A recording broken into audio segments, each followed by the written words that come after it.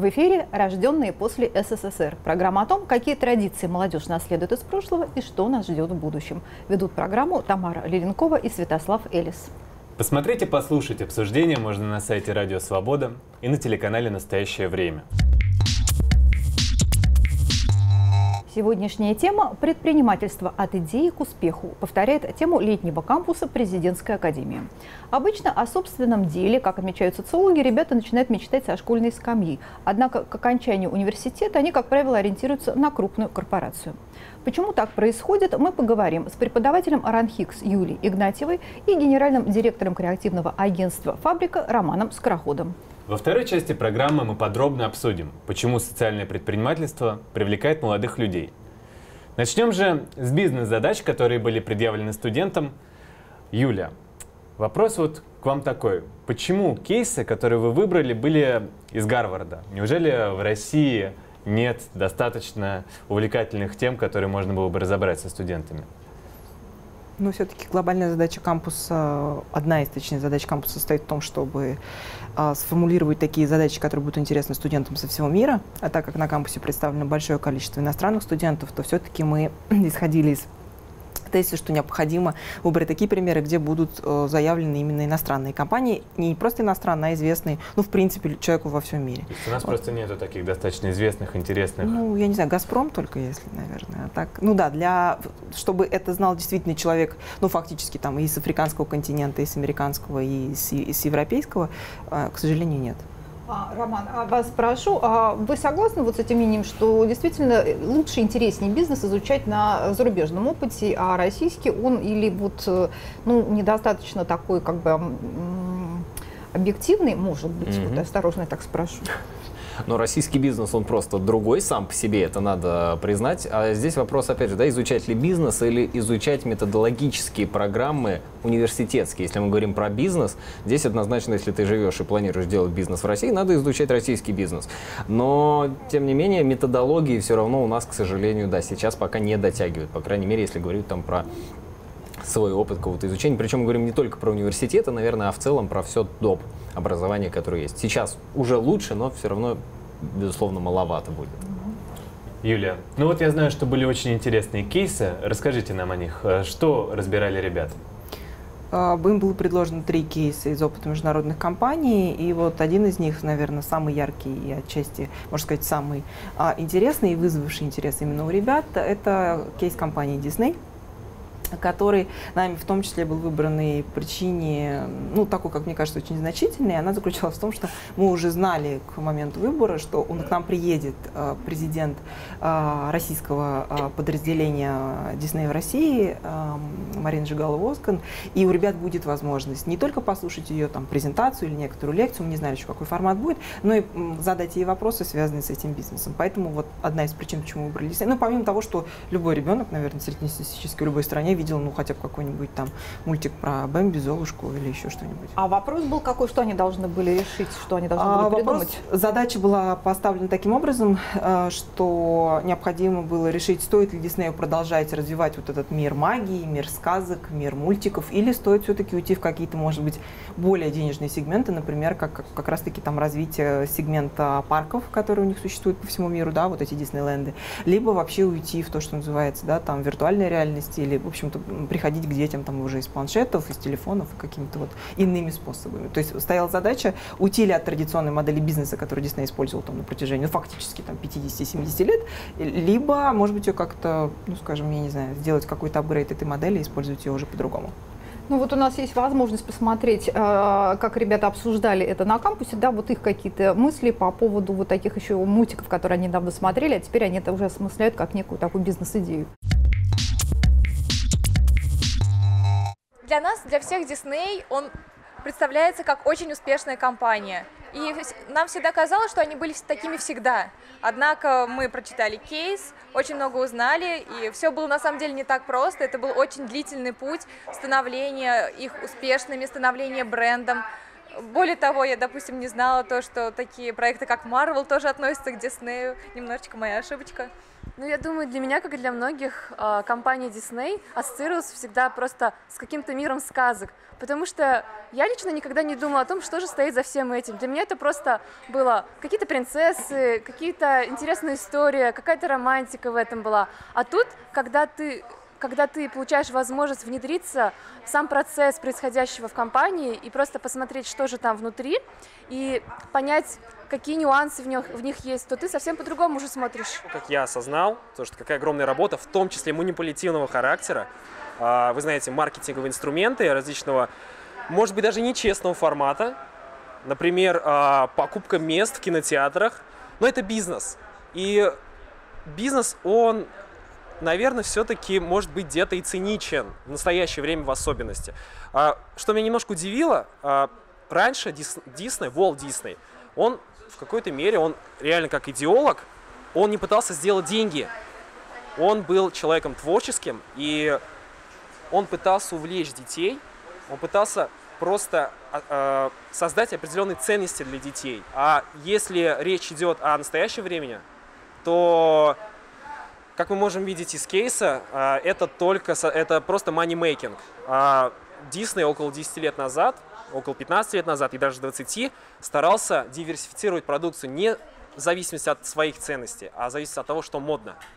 И, э, возможно, это не очень верный подход, как мне показалось. Вот настоящий вектор последние 10 лет Disney мне нравится. То есть они начинают уже аккумулировать ресурсы. Э, это реально круто. Э, это уже не money, возможно, это money без этого никак, разумеется, это бизнес. Но я уже вижу какую-то стройность, какую-то, э, наверное, возврат к традициям. А в чем была главная цель работы? Какие навыки они должны были прежде всего развить через такое вот разрыв своих стереотипов о Диснее? Ну, если мы говорим вообще про работу с кейсами, то, безусловно, была поставлена задача, чтобы ребята вообще, в принципе, были ознакомлены с форматом, потому что, к сожалению, в современных а, российских, э, именно российских вузов эта работа поставлена не очень хорошо. Вот. Ну и плюс, конечно же, это умение быстро обрабатывать большие объемы информации, отсекать что-то нужное, что-то ненужное, концентрироваться, находить основные проблемы и пытаться найти на них какие-то оптимальные решения с учетом, ну, может быть, не всех возможных вариантов, которые есть, потому что это достаточно время и трудоемко. Но, по крайней мере, уметь выделять главное. Вот, ну, вот наверное, такие какие-то задачи. Ну, надо сказать, что э, действительно очень интересно про, проходили занятия, и были лекции. Мы чуть позже поговорим во второй части программы подробнее, как вот устроен весь летний кампус. А, но был кейс еще э, очень интересный, как мне показалось, про Вольво, Юлия, если можно двух словах. Да, кейс Volvo был более таким техническим, если можно сказать, потому что ну, сама история компании это определяет. Если вкратце, то задача стояла в том, что э, в кейсе формулировался вопрос, нужно ли компании выходить на азиатские рынки, в частности, это китайский рынок, со своими новыми, произво... э, с своим новым производством автобусов на экологичных двигателях. Вот э, если вкратце так она была сформулирована. Стоит или не стоит, ну и там были предложены некоторые варианты э, в смысле текущей ситуации и возможных перспектив рынка. Ром, так вот на вскидку, да, стоит, не стоит? Я бы Кости бросил, я вообще ленивый. Просто ну, выпадет 6,6, я бы вышел. А, хорошо, но мы вернемся на летний кампус и посмотрим, как проходят занятия, да, как проходит обсуждение и ну, вообще тренинги, связанные с обсуждениями.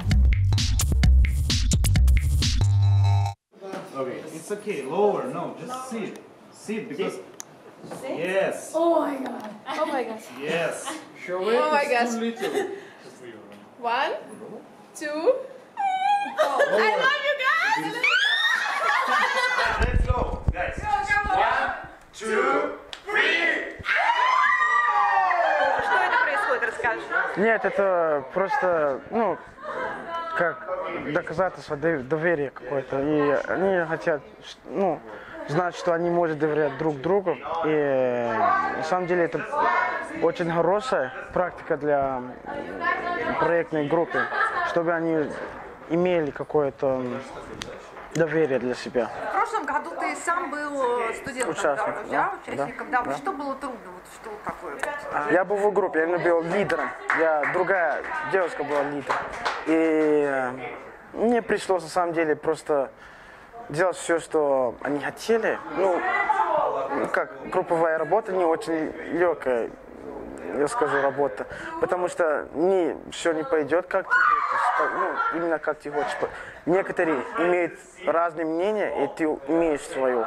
И надо уметь потерпеть и слушать других. Чтобы стать хорошим лидером, надо уметь следить.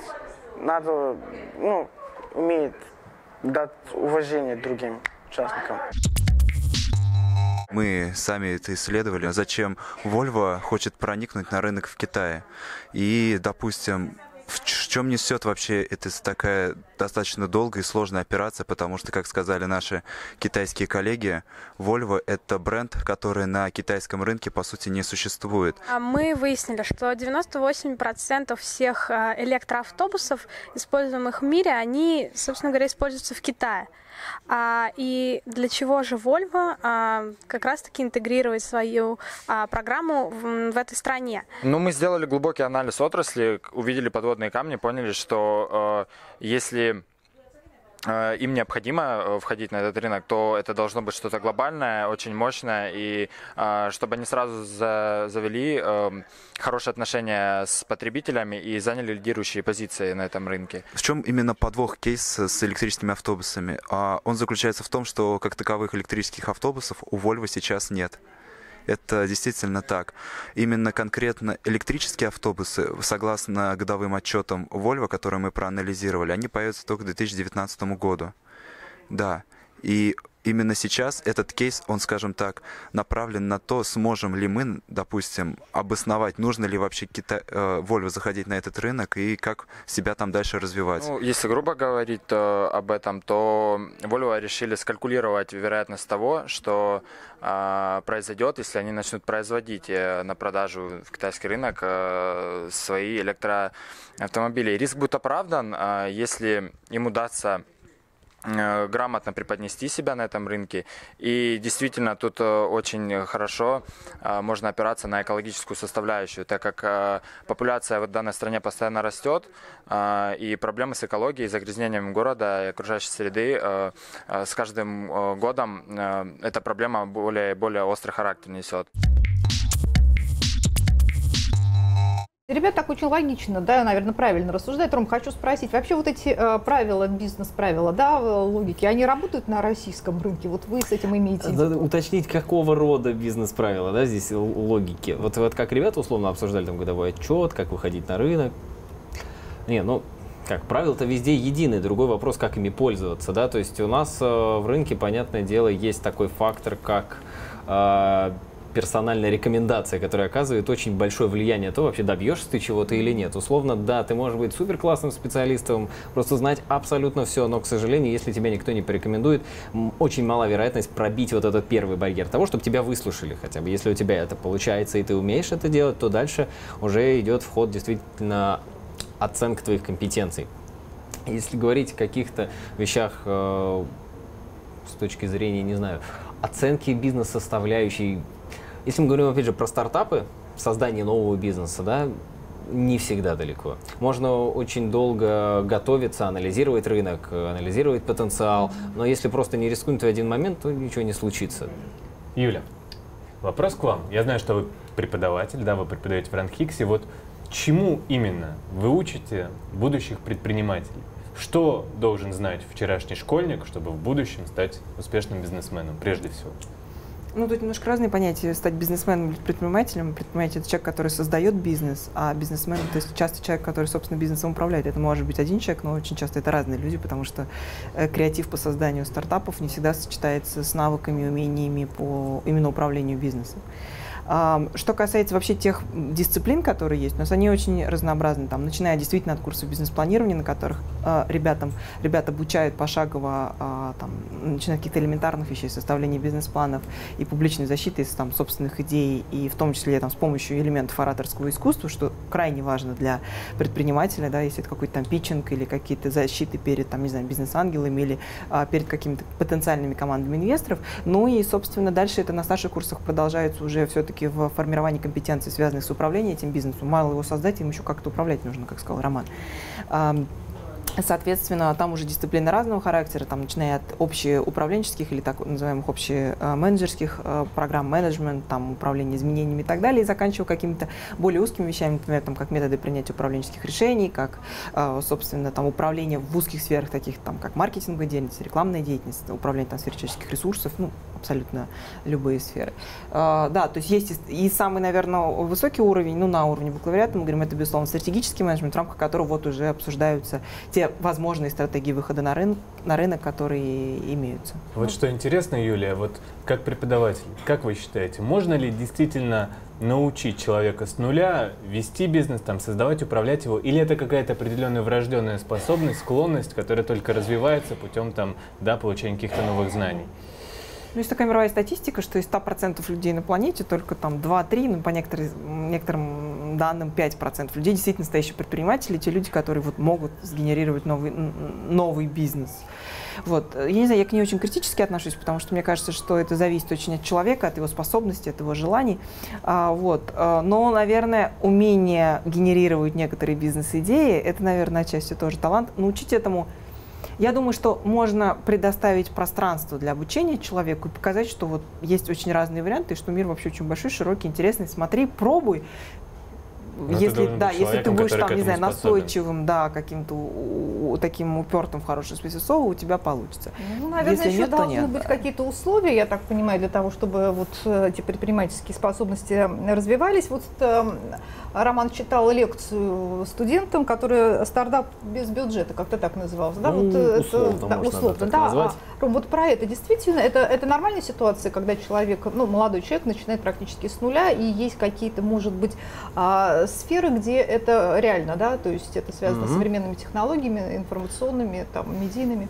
Э, реально везде, вот с точки зрения каких-то ресурсов, которые нужны, мне очень простая политика, мне кажется, чем у человека хуже ситуация, тем лучше для бизнеса его да. потенциально, потому что у него будет желание да, э, вообще выбиться, выбраться оттуда и сделать действительно что-то стоящее.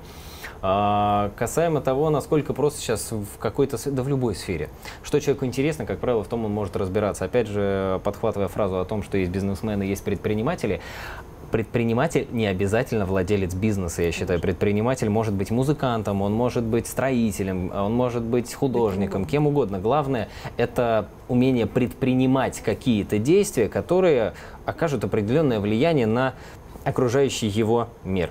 А, и в этом плане, если человек, ну, можно подумать, да, нельзя в космическую отрасль сразу пойти, да, но можно устроиться, работать в такую компанию, начать там предпринимать какие-то действия по изменению этой компании, да, и если человек действительно упорный, он в итоге станет заниматься своим любимым делом, не знаю, ракеты в космос отправлять.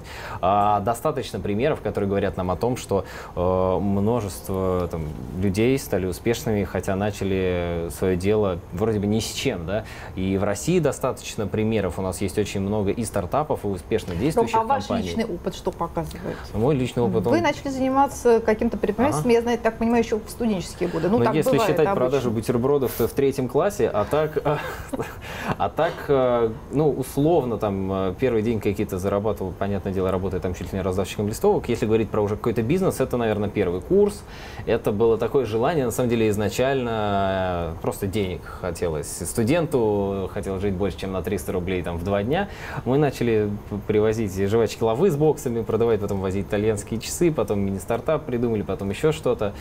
И понеслась барьеров, сейчас никаких нет. Школьники зарабатывают некоторые там в Америке десятки тысяч долларов, когда написали классный код, э, классную программу, игру, ее купила крупная корпорация предвзятости к возрасту сейчас вообще никакой нет. Это здорово. Но, с другой стороны, может быть, есть некий стереотип или, наоборот, опыт старшего поколения, которым молодые люди доверяют, и они понимают риски, которые их ожидают. Меня зовут Виолетта Ружина. А, я четыре года назад приехала из Казахстана в Россию. Сейчас я живу в Саратове и учусь в Поволжском институте управления. Во всех странах как бы, не так связан бизнес именно с политикой, поэтому как бы у них и стартапов очень много, и проектов поэтому очень много.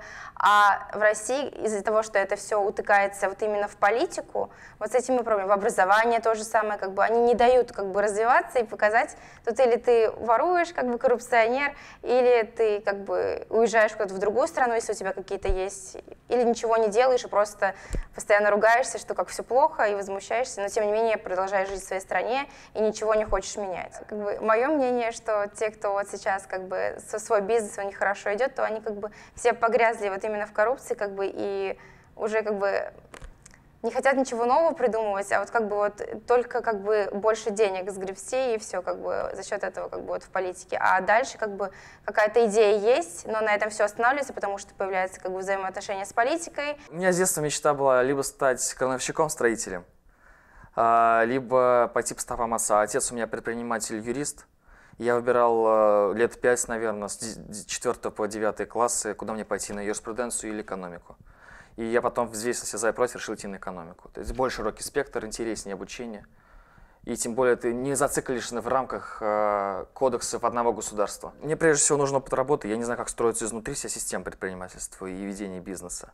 Но я уверен, что у меня хватит энергии это сделать. Я хочу продолжить дело отца скорее даже. У него дистрибьютор с компании, он э, работает с различными партнерами и разводит, так скажем, продукцию по различным по торговым центром. Сейчас я не хочу просить отца устраивать меня на работу и начать с другой компании, с, допустим, даже, может, с конкурентов.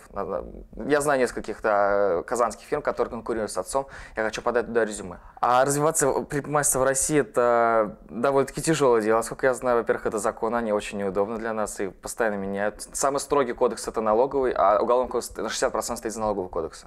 Такого нигде в мире нет, это просто нонсенс, я бы сказал. Тяжело очень. Поэтому я хочу, я, мне бы хотелось вести бизнес не с российскими компаниями, а с зарубежными на экспортные операции. Там и меньше налоги и больше возможностей. Чем больше сложностей, тем больше возможностей себя реализовать. Во мне самое главное реализоваться. Мой страх жизни – это не, не реализоваться собственно. То есть я стараюсь делать все на максимум и везде, где могу быть первым. То есть как, как капитализм, уже, то есть мы развиваемся не в социалистической среде, а капитализм. Везде конкуренция на каждом шагу. Поэтому чем больше сложности, тем интереснее работать.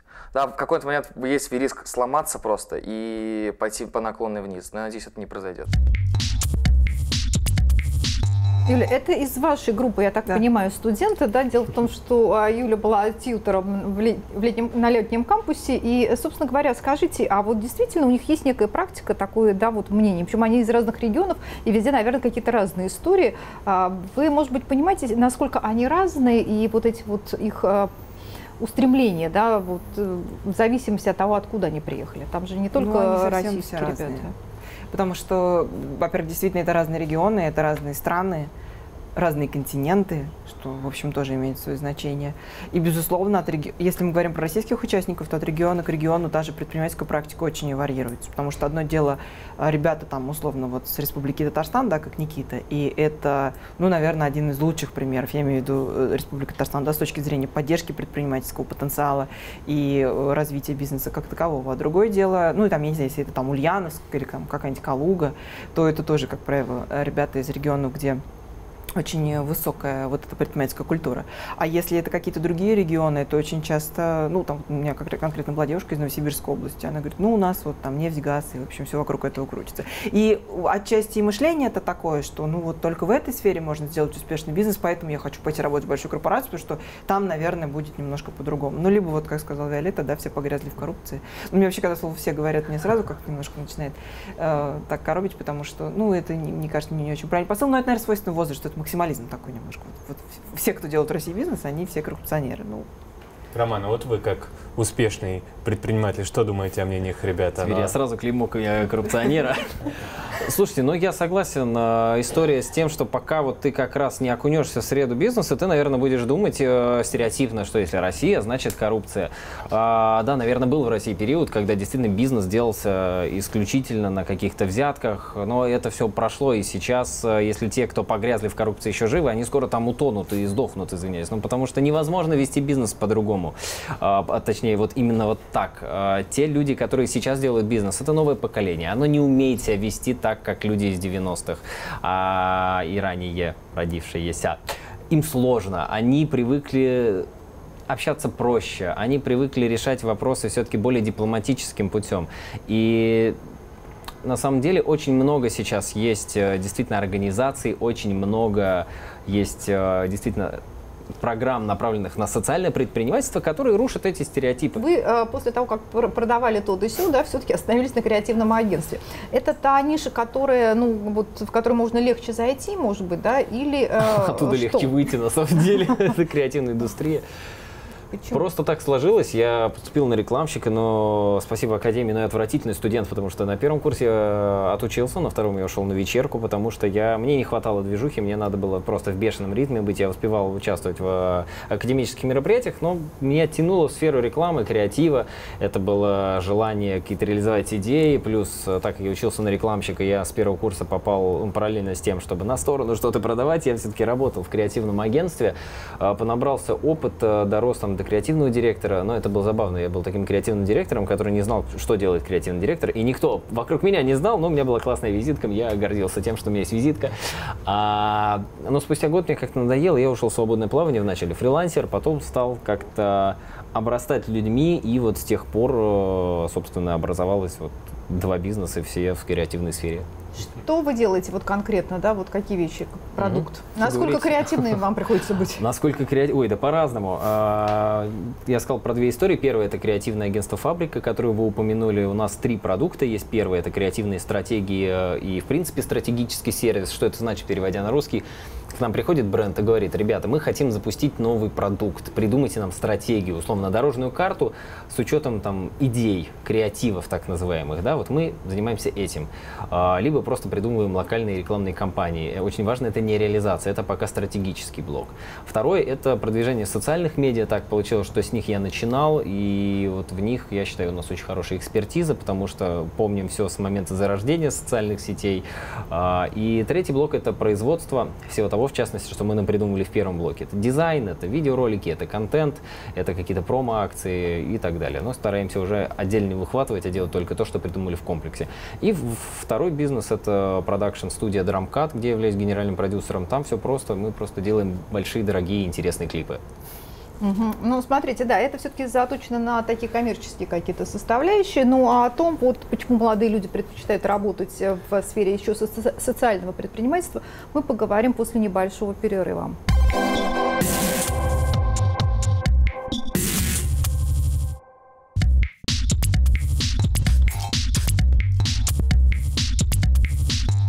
В эфире «Рожденные после СССР». Программа о том, какие традиции молодежь наследует из прошлого и что нас ждет в будущем.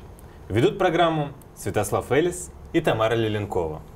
Посмотреть и послушать обсуждение можно на сайте Радио Свобода и на телеканале «Настоящее время». Мы продолжаем разговор о том, каким видят будущее предпринимательство молодые люди в России – и почему некоторые бизнесмены больше не ставят своей главной целью получение прибыли. В московской студии заместитель директора Института общественных наук РАНХИКС Евгений Миронов и предприниматель Вадим Орлов. Ну вот, Вадим, вы занимались программой, которая э, должна была бы поднять дух предпринимательства среди, значит, студентов э, и молодых предпринимателей. Скажите, это вот э, так плохо все, пессимистично, да, что надо каким-то специальным образом это стимулировать? Ну, здесь на самом деле есть абсолютно разные точки зрения на этот счет, э, что стоит делать, как стоит делать. Вот в первой части программы разбирались именно бизнес-кейсы, которые в том числе мы тоже реализовывали, распространяли на всю Россию, только российские компании, например, Сплат. Когда есть у бизнеса какая-то проблема, и он может ее решить с помощью студентов, вовлекая их активно и используя их идеи, их вот этот творческий потенциал предпринимательский для того, чтобы помочь им раскрыться и помочь решить свои бизнес-задачи. Конечно, поддерживать нужно, потому что предпринимательство это ну, такой огонек, который важно, чтобы он загорелся. Загорелся в первый раз, э, и чтобы человек пошел и реализовал свой первый предпринимательский проект. Скорее всего, с вероятностью 99-99,5% студенческие проекты не выживают. Вот. Это печальная статистика, потому что в основном у студентов нет опыта бизнесового, у них нет опыта в выстраивании процессов, у них нет опыта в маркетинге, в продажах, у них нет понимания сферы конкретной области бизнеса, в которой они начинают проект. Но у них появляется картина мира, она расширяется, они понимают, что все возможно. Можно идти и созидать что-то свое. После этого, я вот, как мы в первой части программы уже, вот Роман затронул тему, они могут пойти работать в эту сферу э, и, набраться, набравшись опыта, уже смотреть на это по-другому, понимая, как работает все, и, соответственно, более эффективно запуская следующие свои проекты. Но мир очень быстро меняется, и в экономическом отношении, ну и в политическом, увы, да, это теперь связано.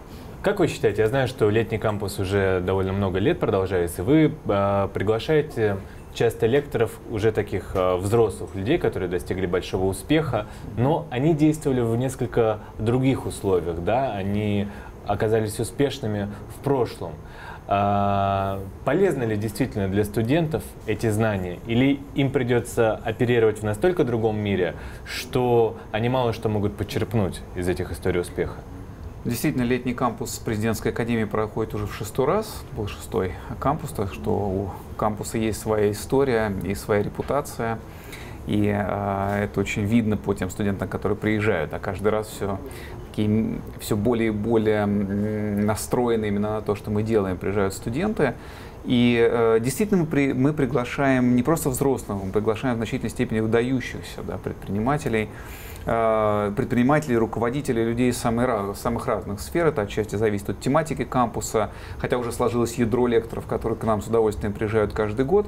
Э, понимаете, это люди, все люди, которые приезжают к нам в кампус, и не только приезжают, у нас много вебинаров проходят, и там лекторы из э, самых разных стран э, участвуют. Это люди, которые актуальны сейчас. Это люди, которые не просто успешны в прошлом, да, как, когда-то они чего-то добились. Это люди, которые сейчас находятся на э, гребне волны, независимо от того, э, каков их календарный возраст. И э, в этом смысле я думаю, что отвечая на ваш вопрос, я, я бы сказал, что это мастера достижения успеха в меняющемся мире. Вот. И э, пока э, они живут в одной хронологической точке со студентами. Да. Более того, я думаю, что они знают о настоящем, об изменениях больше, чем эти студенты, независимо от, от, от возраста там, и от поколенческой принадлежности. Поэтому, э, конечно, в будущем студентам придется, нынешним студентам придется жить и заниматься предпринимательством в мире, который будет другим. Это понятно. Но на каком-то уровне научиться мастерству э, реагирования на этот мир, понимания этого мира, э, изменения этого мира, изменения себя в этом мире, конечно, можно поучиться. Это это то, что как раз одно поколение вполне может другому поколению передать, и ребята очень жадно к этому относятся. А, Вадим, а как вам кажется, вот это действительно так, или, может быть, все-таки ребята выбирают какие-то сферы своей деятельности, ну, так естественным путем, да, если они не сажаются куда-то вот в инкубатор и вот кон- mm-hmm. в конкретное место, да, а когда они сами выбирают, это сферы, может быть, связанные с информационными технологиями, или есть какие-то традиционные сферы? То есть вот есть какие-то тренды, что называется? Угу. Ну, смотрите, здесь есть э, как горизонтальное предпринимательство, так и вертикальное. Горизонтальное – это когда человек создает классический бизнес, то есть открывает какую-то кофейню, открывает какую-то, не знаю, мастерскую или что-то Я имею в виду молодые люди, а на вот... что нацелены? Вот куда? Туда, куда легче, или вот я, э, то, что они сами хотят? А это все зависит от молодых людей. То есть Хотят того, они денег или реализации а, каких-то да, амбиций? Да, то есть э, здесь, безусловно, стартаперство сейчас, оно в тренде последние там, 5-6 лет. А, но и классическое предпринимательство, которое пестуется очень а, масштабными проектами всероссийскими, такими как там бизнес-молодость, лайк-бизнес, то есть они пропагандируют э, именно такой более, более классический подход, более, я бы сказал, даже я бы не назвал это предпринимательством, я бы назвал это коммерцией, бизнесом, вот э, таким э, тем, что точно работает, где точно выстроены процессы.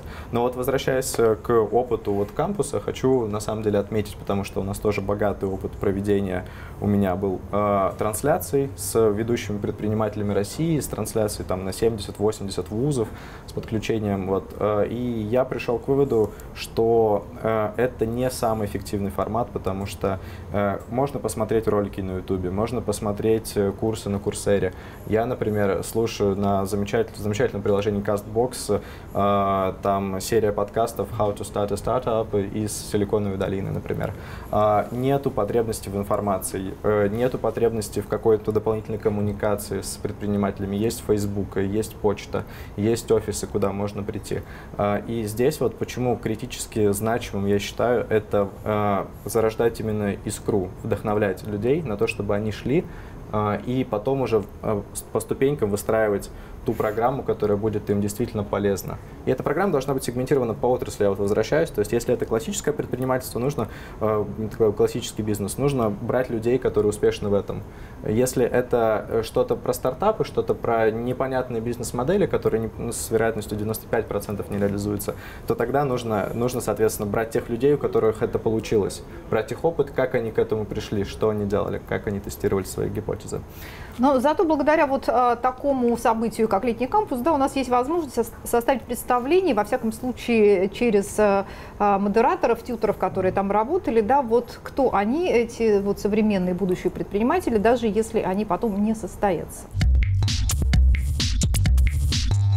I think вот что мы видим очень характерно для студентов, конечно, здесь собираются лучшие там, в России или в своих странах студенты, но то, что мы видим, что они очень, э, очень настроены максимально быстро обучаться, они очень быстро включаются в любые ситуации, они тут же находят общий язык э, с любыми спикерами, независимо от того, это может быть э, депутат Думы или топ-менеджер из Coca-Cola или Disney, они тут же включаются в беседу с ним, потому что они хотят что-то менять в своих странах, и они хотят участвовать участвовать в этих изменениях. Вот это общее для них.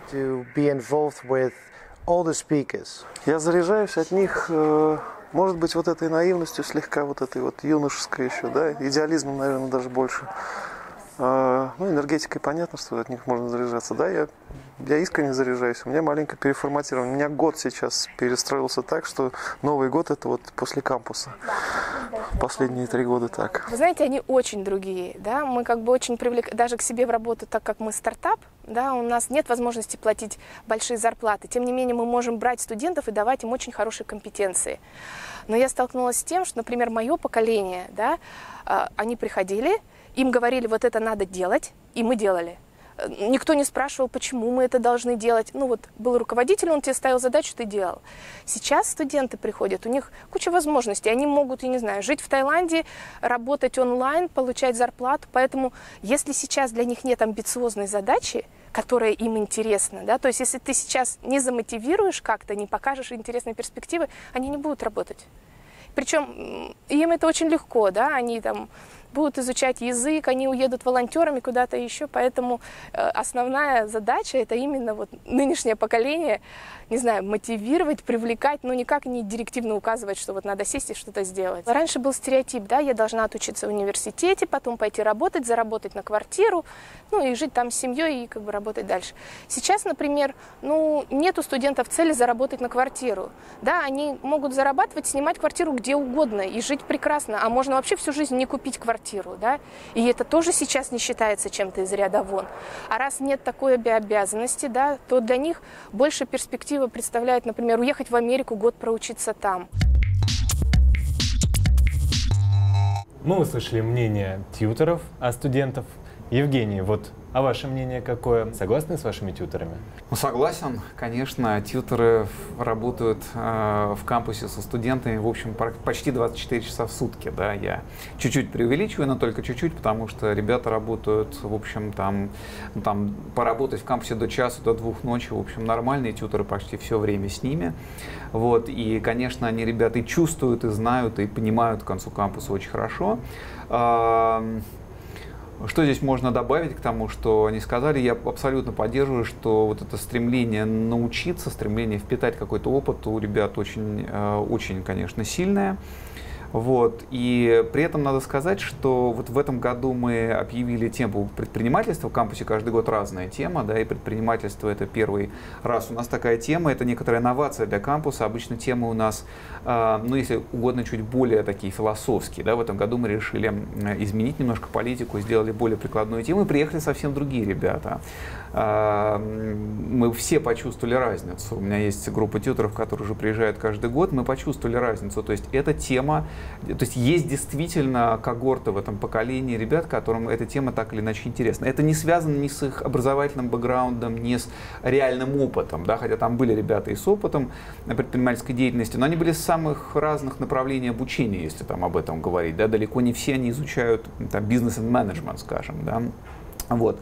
Но э, мы почувствовали психологическую разницу, и, как ни странно, э, ребята оказались гораздо более дисциплинированные, чем э, участники прошлых кампусов, да, где более вроде была гуманитарная и более такая креативная, если угодно, направленность.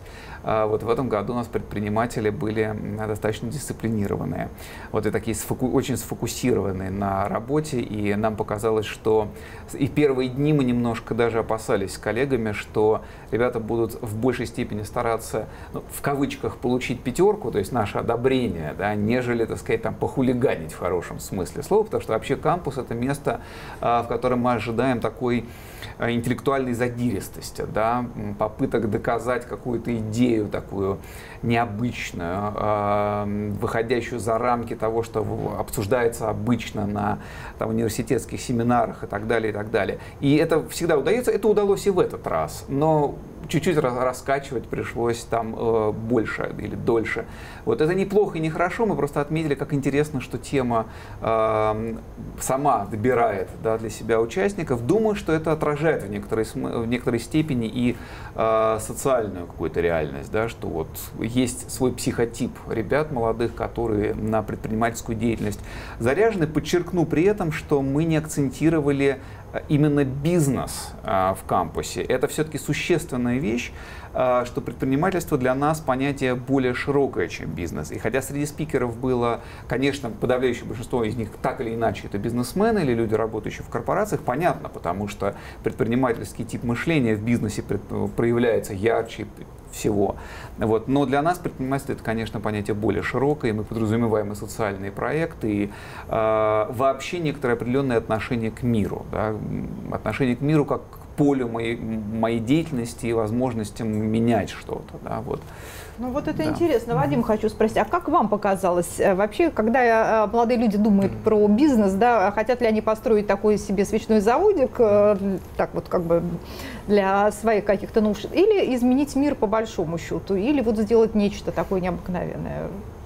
А, ну, Прагматизм см... или все-таки а... какая-то романтика есть? Да, смотрите, ну, во-первых, можно посмотреть на исследователей и теоретиков предпринимательства. Есть э, Йозеф Шумпетер, есть господин Кирцнер, господин Шейн, которые активно а, уже на, на протяжении последних ста с лишним лет изучают, кто такой предприниматель, что он делает и почему, какие есть особенности Мы про молодых говорим, Вадим. Ну, да, да, конечно, про молодых. опыт, ведь у вас да, тоже да, есть конечно, большой. у меня есть достаточно богатый личный опыт. Вот здесь хотел бы тоже вернуться и немного обсудить ролик, да. вот, потому что эта тема глубоко меня задевает, как вот человек, который не так давно закончил университет, вот я закончил МГИМО, собственно, недалеко от Ранхикса. А, и знаю многих ребят, предпринимателей из э, Ранхикса, которые э, уже имеют собственные проекты, которых уже не нужно зажигать. Вот, то есть самая главная задача, повторюсь, это зажигать.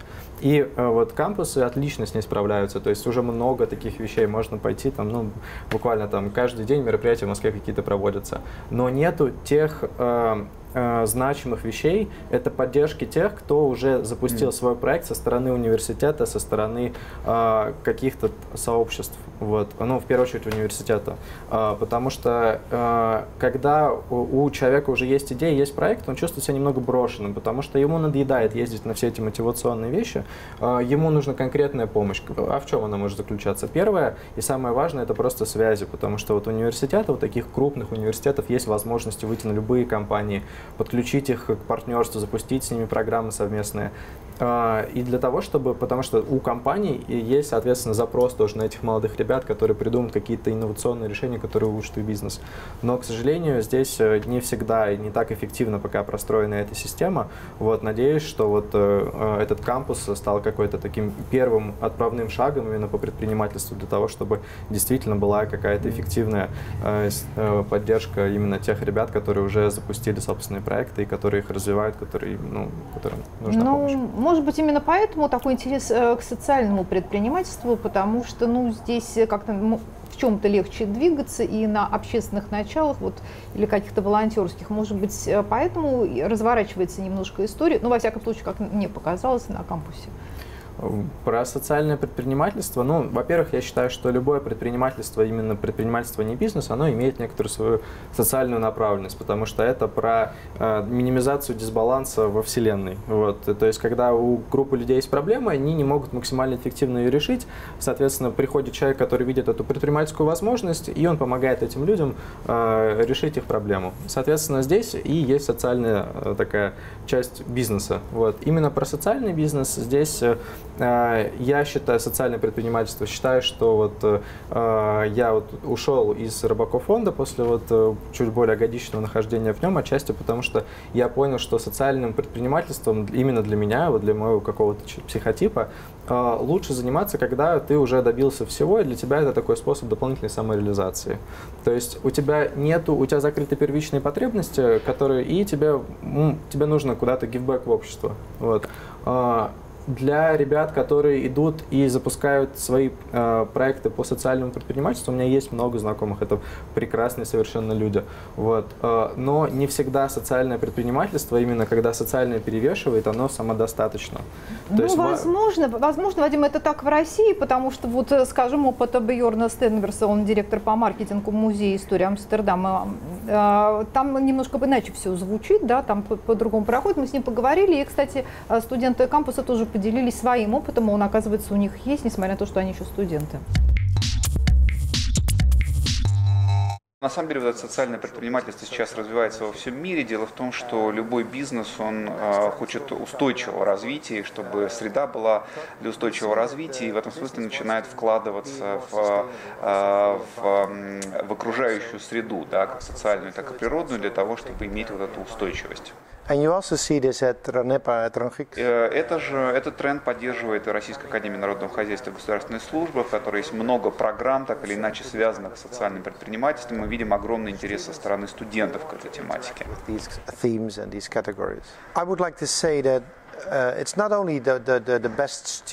Для того, чтобы что-то изменить, э, не обязательно собираться вот в таких местах и собирать э, каких-то лучших студентов. Вы все, те, кто смотрит этот канал, тоже можете быть частью положительных изменений, э, если вы опираетесь на ценности, важные для вас и для страны. Россия – это природа, это энергия, и это история. И если вы работаете вместе. Represent Социальное предпринимательство – это такой новый тренд даже, а, он как бы набирает все больше и больше обороты, в том плане, что а, государство все больше старается переложить свои функции на коммерческие структуры, а, и поэтому коммерческие структуры, им приходится с этим справляться. Их корпоративная социальная ответственность, она ну, как бы должна а, а, развиваться, расширяться и быть набрана не только на внутреннюю составляющую, на сотрудников своей компании, но и на внешнюю. Я студент э, Юрий Ранхикс, это Южно-Российский институт управления президентской академии в Ростове-на-Дону.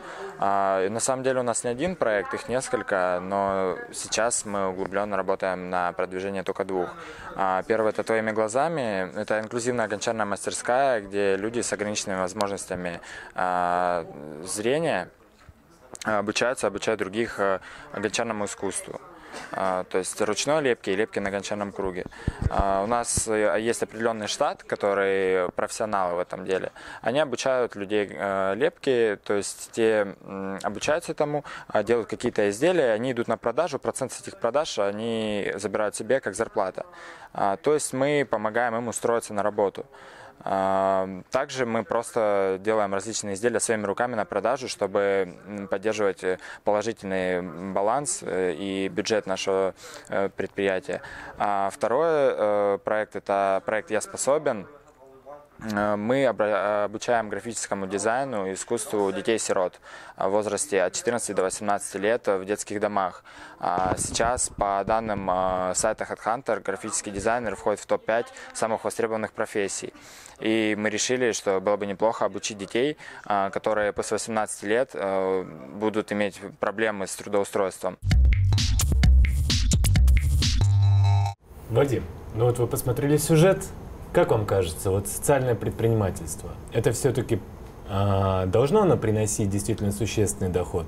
Или когда молодой бизнесмен решает, я буду социальным предпринимателем, он посвящает себя определенной социальной угу. роли, да, принесению общественного блага, а не прежде всего денег. Как так, вам кажется? Ну, смотрите, несколько тезисов. Первое про то, что социальное предпринимательство — это тренд. На самом деле, если мы еще откроем такой вот очень толстый учебник Котлера «Маркетинг-менеджмент», то там будет тоже говориться про социальную ответственность бизнеса и, собственно, один из примеров, который был рассмотрен на примере КАМАЗа.